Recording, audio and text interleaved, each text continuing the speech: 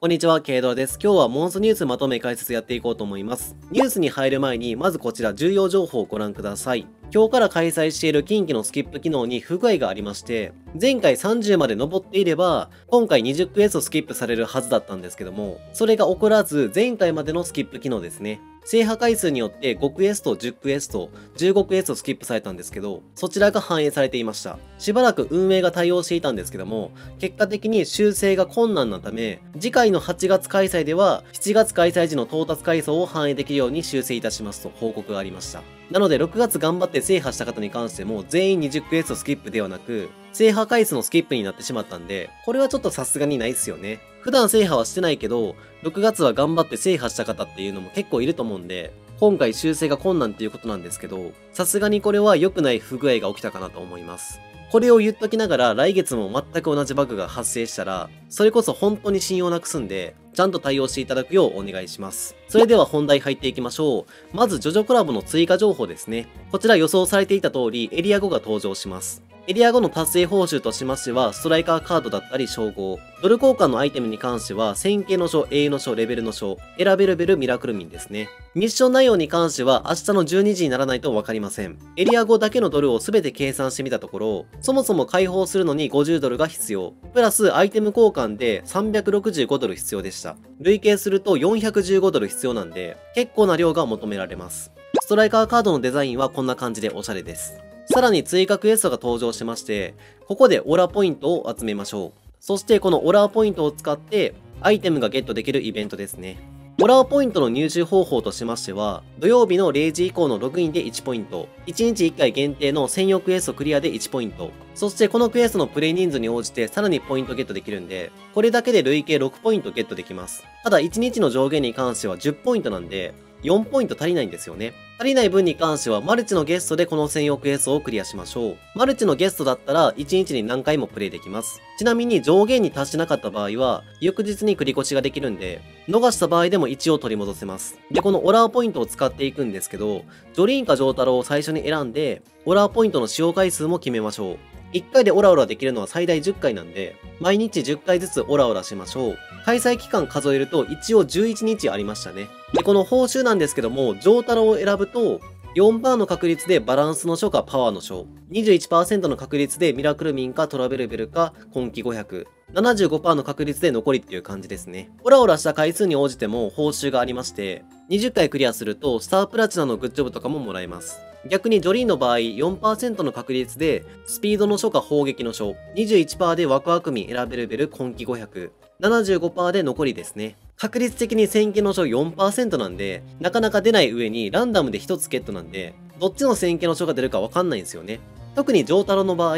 パワーの書かバランスの書なんで、マジでパワーの書に偏ったら最悪ですよね。そんな感じで結構運ゲーなんですけども、多分11日分できるんで、チャンスは累計110回あると思います。回数の報酬もあるんで、僕は30回30回やった後、自分の手持ちのキャラと相談して、残りは決めていこうかなと思います。さらにこちら新キャラが登場しまして、このキャラもコラボ期間中はラックプラス99扱いです。コラボにもう一つ追加コンテンツがありまして、ドルを支払って電話をかけると、この新キャラ7体プラスアイテムがゲットできます。ただし、1回電話をかけると、24時間は電話かけられなくなります。でもこちら原作再現がありまして、待ち時間の短縮をしようですね。合計15ドル支払うことで待ち時間がなくなります。運極にするためには合計15回電話が必要なんですけども、短縮をしなかったら期間中間に合わないんですよね。多分3回短縮をすれば間に合うんで、電話12回プラス短縮込みの電話3回で足りるんで、累計105ドルが必要です。さっきのエリア後のドルを足すと、累計520ドル必要なんで、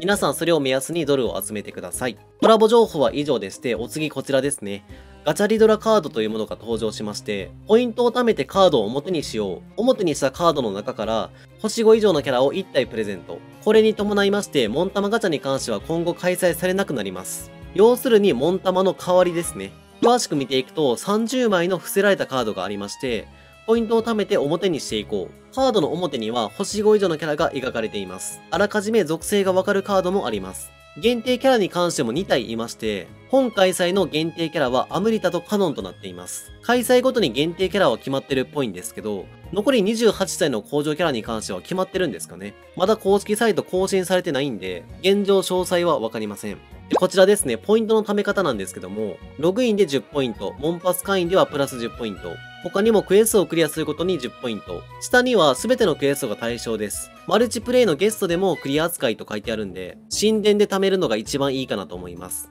他にはミッションもありまして、ポイントミッションクエストを5回クリアすると100ポイントゲットできます。ポイントに関しては150ポイントを使ってカード1枚を表にめくることができます。期間中にめくれるカードに関しては最大10枚でして、モンパス会員は最大12枚めくれます。なので、モンパス会員の方は1800ポイント、会員じゃない方は1500ポイントを使うと、最大枚数めくれまして、ポイントに関しても1日の上限がないんで、ポイントさえ貯まれば、初日でこのカードめくりが終了します。そして最終的に表にしたカードの中から1枚選びまして、その選択したカードのキャラがもらえます。しっかりこちら受け取らないと、キャラを獲得することできないと書いてあるんでご注意ください。ちなみに、モンタマエネルギーに関しては仕様変更されまして、カード1枚めくるごとに1ポイント貯まります。これによって完全にラッキー要素はなくなりましたね。では最後に重心化回見ていきましょう。今回は予想的中太公望が来ましたね。性能見ていきましょう。貫通ゲージ超バランス型。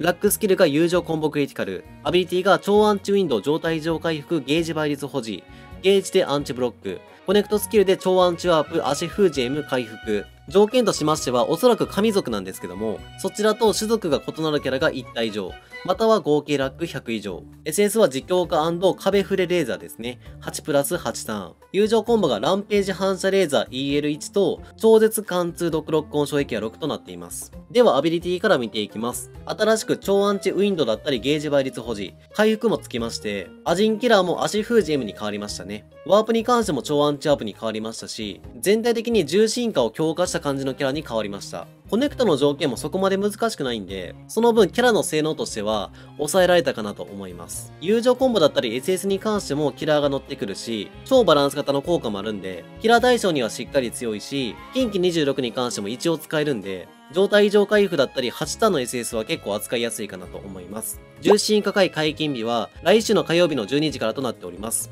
そして獣神化はこちらヒュプノスでしたね。性能を見ていきましょう。反射ゲージスピード型。ラックスキルがクリティカル。アビリティがアンチダメージオール、超アンチワープ、源流封じ、SS ターン短縮。ゲージでアンチブロック、回復 M。SS は氷メテオで追い打ちプラス睡眠ですね。18プラス8ターン。友情コンボがクロス分身弾とスピードアップとなっています。このキャラ性能に関しては正直今どこで使うねんっていう感じなんですけど、トリプルアンチを持っていてスピードアップもあるんで、クエストが噛み合ってくればしっかりサポーターとして仕事ができるかなと思います。地味に回復 M を持っていまして、SS に関してもこちら確定睡眠なんで、絶対に1ターンは敵の攻撃をキャンセルすることができます。SS ターン短縮もありますからね。これをうまく活かすことができれば、難しいコンテンツでハマった時も、ちゃんと使えるキャラになると思います。こちらも解禁日は来週の火曜日の12時からとなっております。今週のモンスニュースは以上ですね。来週に関しても木曜日の16時からとなっております。ラッキーモンスターはこんな感じですね。ということで、ジョジョコラボに関しても追加情報はこれで終わりだと思うし、7月後半はドルだったり、オラーポイントを集めて、しっかりアイテムは回収していきましょう。そんな感じで本日もご視聴ありがとうございました。ぜひ高評価、チャンネル登録お願いします。それではバイバイ。